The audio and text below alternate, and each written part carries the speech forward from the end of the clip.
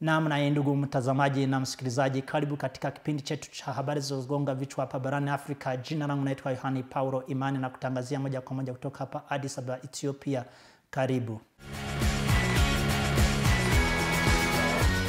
Habari zetu zinaanzia hapa nchini Ethiopia kabisa, ambapo jamii ya watu wanaoongea lugha ya Kiswahili wametangaza kuwa na mkutano uh, siku ya leo jioni. Kutokana na habari zinazokuja katika uh, vyombo vyetu vya habari ni kwamba jamii ya watu wanaoongea lugha ya Kiswahili watakutana kwa, utakuwa kuna chakula, nyama choma, kachumbari na pilipili na vitu vingine mbalimbali vya chakula cha Kiswahili, lakini pia kutakuwa kuna mavazi na music ama nyimbo za Kiswahili. Mchakato wa watu wanaoongea lugha ya Kiswahili umeendelea kukua kwa kasi hapa nchini Ethiopia, hasasa kwa ajili ya kuenzi lugha ya Kiswahili. Tanzania. Waziri Mkuu wa Tanzania Bwana Kassim Majaliwa atangaza kwamba habari zinazopamba moto katika mitandao ya kijamii kwamba ni uzushi mtupu.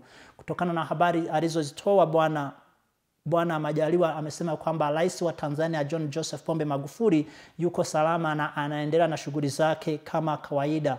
Amesema kwamba Bwana Majaliwa kwamba habari zote hizo zinatoa na watu wasiempenda Bwana Rais na wasiopenda nchi ya Tanzania. Ikumbukwe kwamba hapo nchini Tanzania kumekuwa kuna habari nyingi zinazosema kwamba rais wa Tanzania John Joseph Pombe Magufuli anaumwa. Wengine wamesema kwamba inawezekana akawa amefariki dunia. DRC.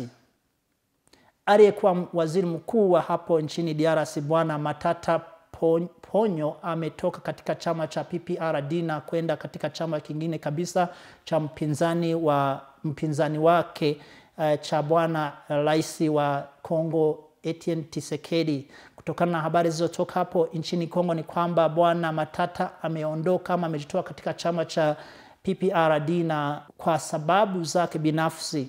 Tangazo aliotoa ameshukuru aliyekuwa rais wa hapo nchini Kongo bwana Joseph Kabila akakumpa nafasi ya kuwa waziri wa kwanza, lakini pia na kuwa waziri wa kwanza wa uchumi hapo nchini DRC.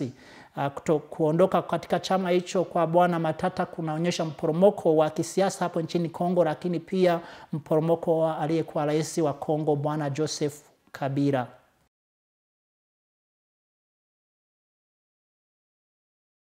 Namibia. Lai, mke wa rais wa hapo Namibia Bi Monica Geingos ametangaza kwa, kwa siku, eh, kwenye siku ya wanawake kwamba wanawake inabidi waweze kujibiana wanapokutana na masuala anayowapuzia ama anayowaonyesha kwamba wao ni, wa, ni wadhaifu. Katika uh, hotuba aliyoitoa katika runinga Bi Monica amesema kwamba wanawake wanapo wanaowaambia maneno yasiyofaa inabidi wajibizane wa nao kwa maana watu wengi wanajaribu kupuzia ama kudharau wanawake.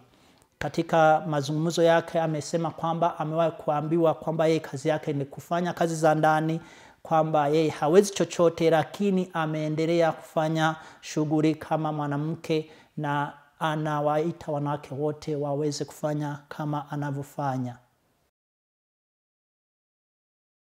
Afrika Kusini.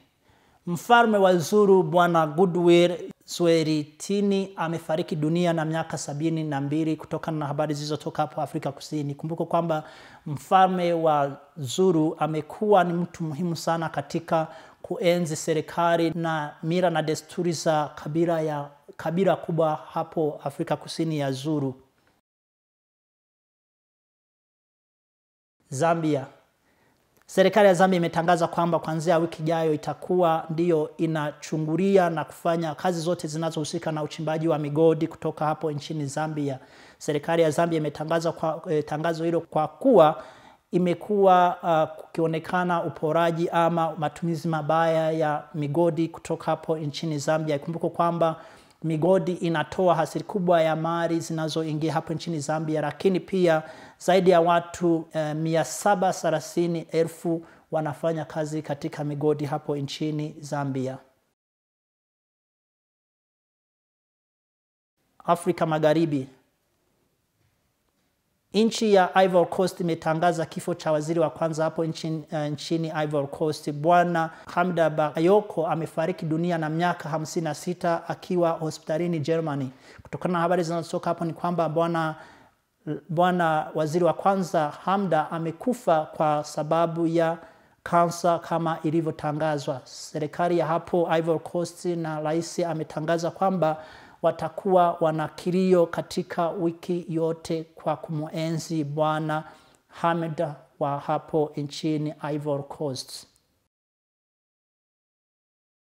Mwisho wa habari. Mauritania, aliyekuwa rais wa hapo nchini Mauritania bwana Mohamed Ould Abdel Aziz ameshtakiwa kwa madai ya matumizi mabaya ya pesa. Bwana Aziz alikuwa rais wa hapo nchini Mauritania kuanzia mwaka wa elfu mbili na nane hadi mwaka wa elfu mbili na kumi na tisa. Aziz ameshtakiwa pia na aliyekuwa waziri wa kwanza na watu wengine watano katika matumizi ya matumizi mabaya ya pesa hapo nchini Mauritania.